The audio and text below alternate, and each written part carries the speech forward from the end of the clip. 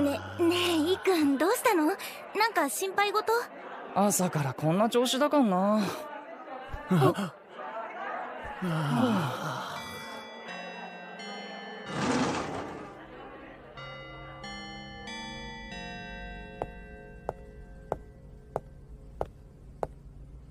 起立おはようございます。おはよう。ありがとうそれじゃあ今日はここまで。しっかり復習すること。三輪くん放課後指導室まで来なさい。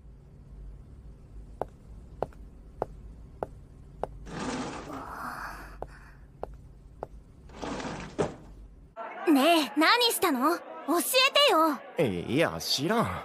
つうか早く帰りてえのに。なんだよ一体。たく